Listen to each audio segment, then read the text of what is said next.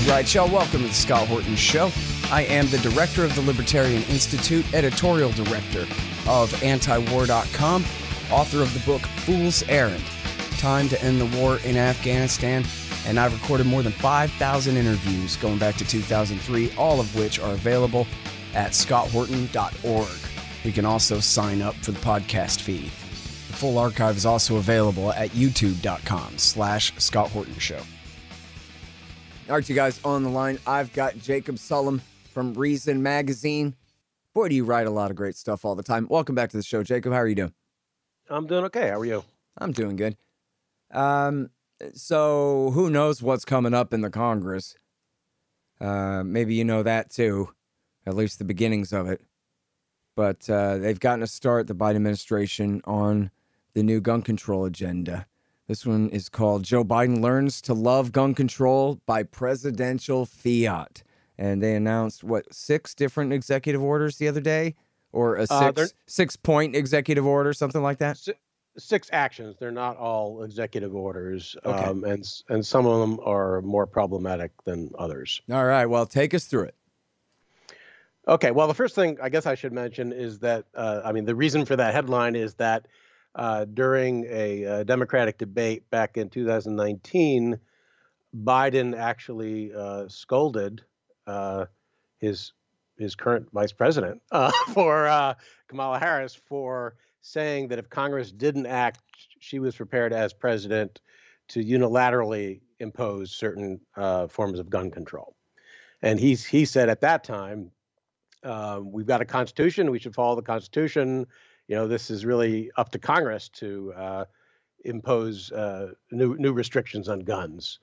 Um, he seems to sort of have changed his mind um, because uh, there have there are several proposals that are that ha- that Congress is considering, um, um, some of which have been already approved by the House, but they it, it's uh, iffy as to whether uh, they're going to pass the Senate. So recognizing that, he is now trying to do what what he thinks he can do um, on his own. Uh, so so one of one of the the actions is has is the nomination of David Chipman, who is a former uh, BATF uh, official, but more recently has been a gun control activist uh, to head uh, the BATF. Um, and that the prospects for that, uh, you know, it's alarming to gun rights supporters, understandably so. Uh, but the prospects for that are are are also iffy in, in a Senate that's you know ha- consists half of which consists of Republicans and also includes a few, uh, at least a few Democrats who are, um, you know, supporters of the Second Amendment. So that may be tough going. And by the way, Uh, on that point, real quick, can we talk about his role in Waco and what all you know about that? Because there's there's Yeah, been a well, I lot mean- of of uh, speculation about this. I think. Yeah, I mean, the, the one thing that was odd is that he endorsed the idea that uh, the Branch Davidians had shot down uh, National Guard helicopters, which is not true. Um, so, without delving into all the details uh, of Waco, which you know I wrote about a lot at the time, um, that's pretty important, you know, because that has to goes to how big a threat they presented and uh, whether the government response was appropriate. So the fact that he uh, seems to believe that thing, which is not true, is is sort of alarming. Mhm. But I would, And uh, then one more thing about that was, as far as I know, um, they say that he was a case agent involved in the prosecution of the court case later against the survivors. And I don't know of any other information than that, but I do want to mention, as long as we're talking about it, that there's some disinformation going around too, where there are trophy pictures of guys who are either FBI hostage rescue team or more likely Delta Force soldiers, where they're posing over the smoldering corpses of the Davidians. And there are people passing that around and saying that's him. And uh, so I just That- wanted to warn yes. people that that's not really right. If it was, there would be a link that proves it. anyway, go ahead.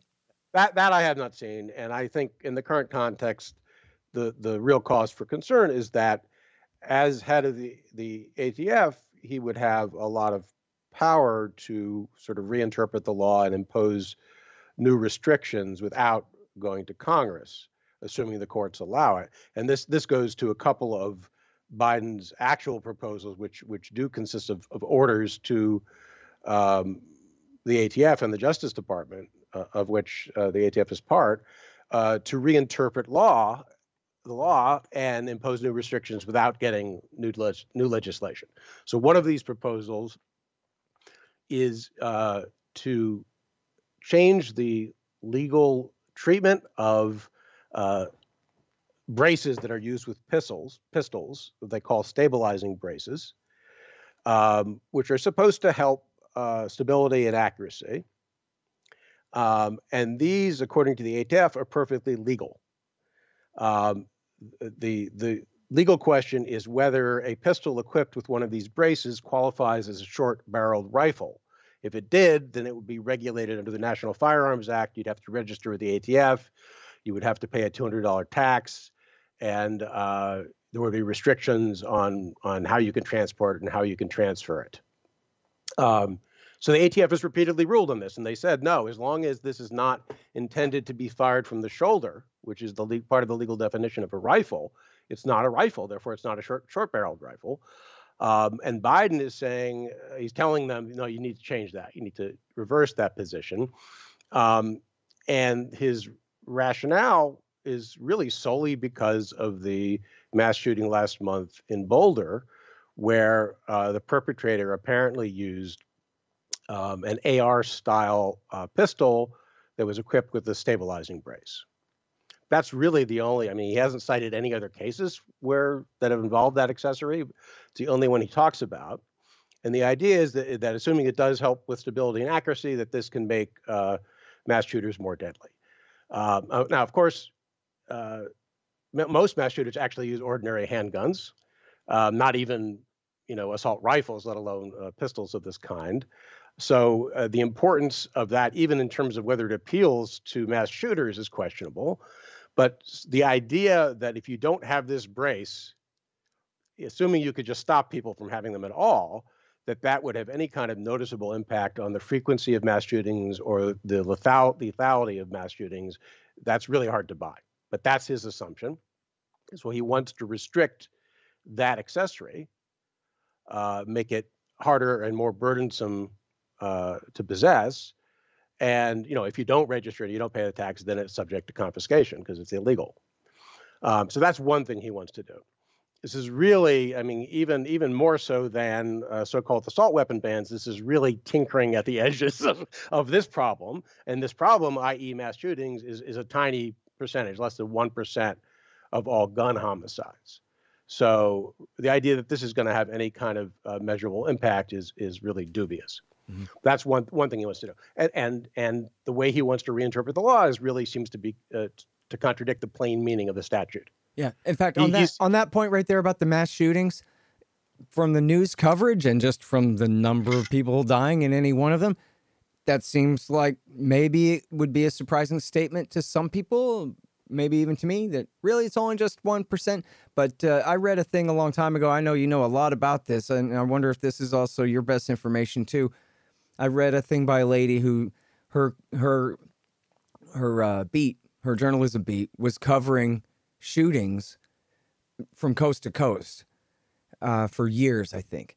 And she said that essentially Americans kill each other on Friday and Saturday nights when they're drunk. They kill their neighbors and their wives. And that's basically the bulk of of gun homicides in the country. Is that your understanding too? I'm not sure that that description is fully accurate, but it is certainly true. I mean that that mass shootings account for a fraction of one percent of gun homicides. Mm-hmm. So even though that gets a lot of attention, and it's you know every time a crime like that is committed, politicians like Biden will say this shows why we need more gun control um, it's really a, a, very very small part of the problem. Yeah. But and, I mean, and, just I guess what it, I'm getting at is it's not even really crime like armed robberies and things like that. It's crimes of passion by people drinking, accidents and things they would have never done if you gave them that five minutes back, kind of stuff like that is really the bulk of I, it, right? I think that's a substantial part of it, but I, I can't say exactly what percentage. Okay, sure. To, okay, I, go ahead. To, go ahead. I have to I have to go and look at that. But so so this is similar. What what Biden wants the ATF to do is similar to what uh, the Trump administration had the ATF do with uh, respect to bump stocks. Uh, the ATF had repeatedly said that uh, this is a legal accessory. It does not make a gun into a machine gun. Um, and then Trump decided he, after the, the mass shooting in Las Vegas that because because the perpetrator there uh, had bump stocks, that this needed to be banned. And rather than going to Congress and and and asking it to pass a new law, which by the way, people on both sides of that debate both said we, Congress needs to act. They assumed that it could not be done administratively, and Trump decided it, you know, it should be done, and he got the ATF to completely reverse itself in a very implausible way. So this is analogous to that. It's the same sort of thing where you, instead of getting Congress to change the law, you unilaterally change the law. So that's troubling in its own terms without regard to its impact on Second Amendment rights.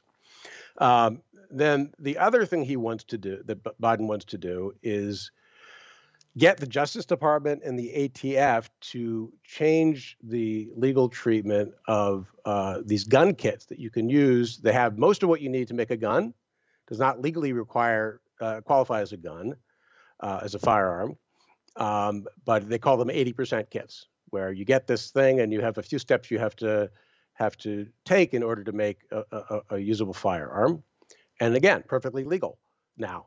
Um, he wants to, it's not clear whether he wants to ban those kits or restrict them in some way. But if he wants to do that, he needs to get Congress to pass a law that authorizes it. Instead, he's saying the ATF or the and the Justice Department have to figure out a way to restrict those kits, um, uh, so so that they are either harder to get or impossible to get or whatever whatever it is that he wants to do. Um, so again, the, the, the legality of that is is really uh, dubious mm-hmm. um, and then go go beyond the legality of it. Suppose he can do that, right? Suppose he could just ban um, 80% kits, um, and so you can't you can't buy them legally anymore. Uh, is that going to what kind of impact would that have? Now, what he says is the problem with homemade guns is that they don't have serial numbers, and if it turns up at a, a crime scene, um, police can't trace it, right? So, uh, and he says if we ban them, it will save lives. And, and you can sort of see, imagine a chain of logic there, which is if it is eh, harder uh, uh, to trace weapons when they don't have serial numbers, if more guns ha- that are used in crimes have serial numbers, you will get a, a, a, higher clearance rate for homicides. And then ultimately, this, this will add up to more deterrence and ultimately fewer murders. And that's how you save lives, something along those lines, right? Mm-hmm. Now, the question is, you know, he doesn't say how common this is, and the evidence I've seen from at least few, a few jurisdictions suggests this is not very common at all. That that that police are stymied by guns without serial numbers. Um, but that's that's sort of the basic idea. So so assuming that that's an issue, right? Assuming that the availability of homemade guns is useful to criminals, and if we could get rid of them, it would make life harder for criminals. Um, and make it more likely that, that they would be caught. That'd be right? first I've heard of that being a problem. Yes, it's not a, it's not it's clearly not a very significant problem. I mean, based on on on the surveys I've seen where they look at how often does this happen. But if assuming it's a problem at all, uh, and you want to try to force all criminals to use guns with serial numbers, that's sort of the idea. Um, can you really do that? No, because if you ban those kits, people can still find the parts that are necessary to make a gun. You can't possibly ban all of those parts. So they might have to take a few more steps. They might have to maybe invest in a 3D printer, which is, you know, they're getting cheaper all the time. Um, uh, but the point is, if somebody's determined to make a gun, whether it's a hobbyist, which is the most common scenario, or actually a criminal who's thinking ahead to when he he leaves his gun at the or the crime scene, or when he you know he, he doesn't uh, dispose of his gun. Um, you know, he's careless in disposing of his gun, and, and so he's thinking, "I'm going to be careless in that way. Therefore, I want to have a gun without a serial number just in case." Something along those lines. It's not going to stop them, right? Um, so, th- so, so you have both the legal issue: can he do this, um, or is it a violation of, of se- the separation of powers? And I would say it is a violation of the separation of powers. But then, secondly, assuming he can do it, what kind of impact would it actually have on public safety? And I would say there's no reason to think it would have a significant impact. Hey, I'll check it out. The Libertarian Institute, that's me and my friends, have published three great books this year. First is No Quarter The Ravings of William Norman Grigg. He was the best one of us. Now he's gone, but this great collection is a truly fitting legacy for his fight for freedom. I know you'll love it. Then there's Coming to Palestine by the great Sheldon Richman. It's a collection of 40 important essays he's written over the years about the truth behind the Israel Palestine conflict. You'll learn so much and highly value this definitive libertarian take on the dispossession of the Palestinians and the reality of their brutal occupation. And last but not least is the great Ron Paul the Scott Horton Show interviews 2004 through 2019. Interview transcripts of all of my interviews of the good doctor over the years on all the wars, money, taxes, the police state, and more. So how do you like that? Pretty good, right? Find them all at libertarianinstitute.org slash books. Hey guys, here's how to support this show. You can donate in various amounts at scotthorton.org slash donate. We've got some great kickbacks for you there. Shop Amazon.com by way of my link at scotthorton.org. Leave a good review for the show at iTunes and Stitcher. Tell a friend. I don't know. Oh, yeah, and buy my books Fool's Errand, Time to End the War in Afghanistan, and The Great Ron Paul, The Scott Horton Show Interviews 2004 through 2019. And thanks. Um, all right, then the red flag laws. This is something that's going to have a hell of an impact here, there, and in all kinds of unforeseen ways, I'm afraid. Yes. Okay. So th- this is something that he wants to do, which I think he can do. I don't think there's any dispute about whether the Justice Department can say, here is a model law states should adopt. That's what he is proposing. He wants the Justice Department within the next two months to come up with a model law. The problem with that is to the extent that it actually influences the states, it's it's probably not going to be a good influence. We don't know for sure yet because we haven't seen the details, but uh, these laws are plagued by due process problems. Um, I've you know done written about this a lot, but but basically, the problem is that people can come forward, allege that someone poses a threat to himself or to others, and judges will automatically issue the initial order. That's the one that they issue without any kind of hearing.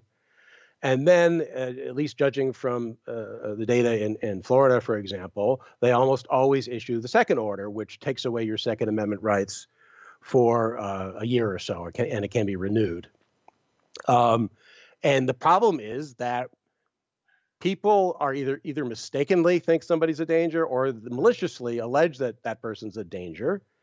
Um, and if you let all sorts of relatives and acquaintances and school officials. I mean, it varies from state to state. But if you let a long list of people come forward with these complaints and petition a court directly, then you are eliminating this layer of protection where cops and prosecutors might come in and weigh the complaint and say, ah, that doesn't really seem plausible to me. That doesn't really hold up. Now, I don't know how often that actually happens, but that's the theory. The theory of requiring either police or prosecutors to be the ones who apply for these gun confiscation orders is that they will be sort of neutral parties examining these allegations and deciding whether they hold water or not. Now, one thing Biden did say is that he wants uh, family members or relatives to be able to directly obtain these orders. So that means he's going to cut out that layer of protection. Now, as to what the uh, standard of proof would be in his in his model statute. I don't know, but I suspect it's going to be pretty weak. Uh, as to other other uh, protections, uh, such as you know, does does the target of a gun confiscation order have a right to an attorney if he can't afford one? That's pretty important. Almost no states uh, grant that right. So there are, there are lots of safeguards that that that could be included in a red flag law that would make it less likely that innocent, harmless people would lose their Second Amendment rights. But I suspect that whatever model law Biden comes up with is not going to include those safeguards. Yeah. All right. And then was that the last big one? Uh, those were the three that were uh, the main causes for concern, I think, in addition to Chipman's uh, nomination. And then let's see the other two things. One of them was funding for uh, violence prevention programs. I think it was eight billion dollars and billion dollars in funding, but that you know that is subject to congressional approval. It's part of uh, what is his latest uh, extravagant spending plan called? the Amer- American Jobs Plan, I believe. Right. So that's part of that plan. So Congress would have to approve that. And and I don't know. You know, some of those programs might actually work or might not work, but at least it's something that he can't do uh, unilaterally. Mm-hmm. Um, and oh, and then the other thing is he wants the Justice Department to produce an annual report on firearms trafficking, which again, that's within his power to do. Whether it will have much of an impact or not, I can't say. Mm-hmm. And then, um, can you comment about uh, any upcoming legislation about this? Are they going to try to ban AR-15s? Um, yes, I mean, uh, uh, Dianne Feinstein has reintroduced yet another revised, supposedly improved version of her assault weapon ban. Biden supports that. Um, and the problem with all laws like like that one is that they make arbitrary distinctions that don't really go to the question of how effective is this weapon going to be in the hands of a mass shooter, right? So if you say you cannot have a folding um, or adjustable uh, stock, they, which they do, you know, if you have if you have a semi-automatic uh, rifle that accepts a detachable magazine and it's got a folding or adjustable stock, that's a, an assault weapon. So why? I don't know. That's what, what they decided. Um, you know, if it has a uh, a barrel shroud, uh, I think threaded barrel. I think that's still on her list. She removed, if I'm remembering correctly, she's got she's done a bunch of uh, of revisions, so it's hard mm-hmm. to keep track. But I believe uh, that bayonet mounts are allowed now. so if you if you want a bayonet mount, you can have that, and it's not an assault weapon. Uh, but she's got uh, uh, grenade launchers, which you know fine, except you're not, they're not much use without grenades, and grenades are very, you know, hard to get. Civilians will have a hard time getting grenades. They're very strictly regulated under federal law, um, and uh, you know, various other features. Any one of which transforms this otherwise legal gun into a prohibited assault weapon. Mm-hmm. And just and a so, parentheses there, uh, people might confuse, and in fact, even making this criticism, I stumble to confuse the terms myself. Assault rifle has a very simple definition: hold down the trigger fully automatic. Simple yeah, that. I mean, but an assault, assault, weapon is like you're talking about. Whatever Dianne Feinstein finds uh, uncomfortable yeah. to look at, I guess, when she sees it's, a picture it, of one. It is. I mean, an assault weapon literally is whatever politicians say it is. That's the only definition. And so the list of particular features that they don't like changes. Mm-hmm. Changes across. It's a great bait and switch, though, for the general public because they think we're talking about a law to outlaw fully automatic rifles. Right. No, these are all semi-automatic weapons. That's part of the definition. Um, and uh, Biden himself wrote an op-ed piece for the Times uh, a year or two ago, saying, uh, on the one hand, he said the original assault weapon ban was effective, but then he also said the problem with it is that you could modify manufacturers could modify guns and be compliant with the law, but the guns were still just as lethal. So you might wonder if that's true, how it possibly could have had any kind of impact, right, on on mass shootings. I mean, any impact in terms of how many people were killed, right? Yeah. Um, and and so he acknowledged that problem, basically that in principle there was no way it could have been effective, even leaving aside the fa- fact that it grandfathered existing weapons, which of course uh, uh, Feinstein's new ban would also grandfather all the millions of, of so-called assault weapons that are already in circulation. Uh, even le- leaving that aside, the problem is that that the laws are based on features that really don't make a significant difference when it comes to how many people you can kill. I mean, like I said, most uh, mass shootings are carried out with ordinary handguns, and you can kill a lot of people with those. Uh, if you look at the the uh, deadliest mass shootings in the United States, uh, many of them were committed with ordinary handguns. So even assuming that you could magically eliminate all the guns that qualify as assault weapons according to Dianne Feinstein, and that and she doesn't even purport to do that because, like I said, millions would remain in circulation. But assuming she could make them all disappear, there are plenty of equally lethal alternatives that a mass shooter can use. That's the fundamental problem with those laws. Uh, so, and in fact, there was a, an op-ed piece by um, a well-known gun control activist uh, in the Times just last week, I believe. Uh, uh, what's the guy's name? Dan Dan Gross, I think is his name. Um, saying this focus on assault weapons and on mass shootings more generally is mis- is fundamentally mistaken. Uh, now he didn't go so far as to acknowledge that the the premise of the assault weapon bans is is illogical, but he did say we shouldn't be talking about that. We should be talking about gun homicides generally, and this is a very tiny percentage of gun homicides.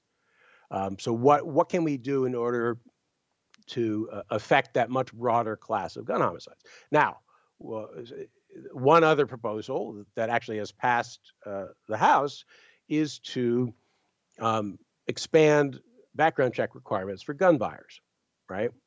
And this is very popular. If you look at polling on this, the vast majority of Americans think this is a no-brainer because you have rules about who's allowed to possess firearms, and what uh, these legislators are saying is we just want to enforce those rules better. So they would require background checks for essentially for virtually all uh, transfers, meaning that what would currently be a private sale would have to go through a federally licensed dealer, which means it would have to include a background check. And then they also would extend the amount of time allowed for the background check. Um, but the premise of this, I think, is fundamentally mistaken because it assumes that the current rules about who can own a gun make sense, which they do not. They are they uh, disqualify very large groups of people where there's no indication that they are they have any violent inclinations, right? So if you commit any kind of felony at any point ever, whether it involved violence or not, whether it was actually a predatory crime or not, right? So this could this includes uh, uh, drug offenses. You, you're never allowed to own a gun. You're never allowed to exercise the right to armed self-defense. Does that make sense? Are these people actually dangerous or not? Uh, uh, similarly, if you've ever been forced to undergo psychiatric treatment as a result of court order, you may never own a gun legally. Um, so suppose you, uh, you know, uh, relatively early in life you were deemed suicidal, and you were f- forced into treatment. Now it's decades later, um, and you live in a scary neighborhood, and you want to protect yourself. You're not allowed to.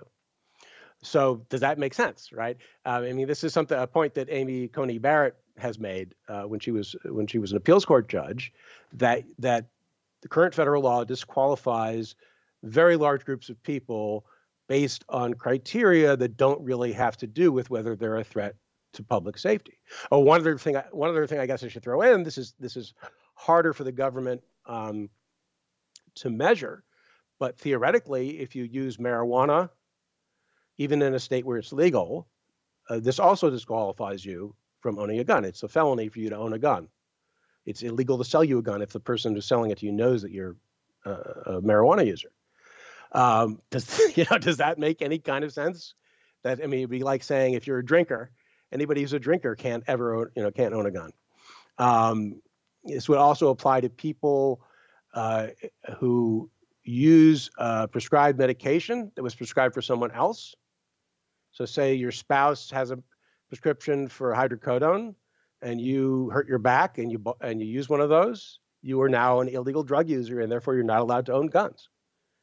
Uh, so so you can you get the idea. There is you have millions and millions of people who are legally disqualified from from purchasing or possessing firearms, and if you make the background uh, check system more comprehensive and more effective, uh, it's going to have it's going to mainly hurt those people who are not really threats to public safety. And will it affect criminals?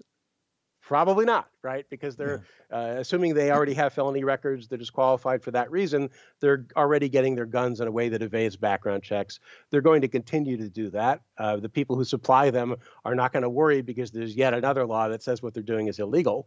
Right. Uh, so that's the whole the premise behind uh, background checks. And one and more that, thing on that, uh, yeah. I'm sorry, but haven't they sold like 20 or 30 million AR-15s in the last 20 years since the last assault weapons ban expired? And then does that mean that I guess they're not going to retroactively say everybody has to turn them in, but it means that you have to somehow everyone's rifles up for inspection to prove when they got it and whether they're grandfathered in or not and all this and in other words all AR-15 owners would be presumed guilty until they could prove that they had it before 2021, something like that? It depends on the details of the law. If, under Feinstein's law, if you owned one of the targeted guns before the law takes effect, you may continue to possess it. You're not allowed to transfer it because it bans transfer as well as manufacture, right? It bans sales as well as manufacture. Um, Biden's idea was that not only should you ban manufacture and sales going forward, but you should require all existing owners to register their guns with the federal government, right? So that's millions of people who would have to do that. And if they didn't do that, by possessing an unregistered uh, uh, gun that was covered by this law, they would be committing a felony. Mm.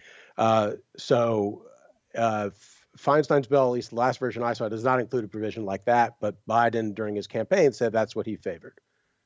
Man, all right. Listen, I'll let you go with that and and uh, tell you how much I appreciate it because I can't keep up with this stuff. But you do such a great job on it, Jacob. Well, thank you. All right, you guys. That's Jacob Sullum, senior editor at Reason Magazine. This one is called Joe Biden Learns to Love Gun Control by Presidential Fiat.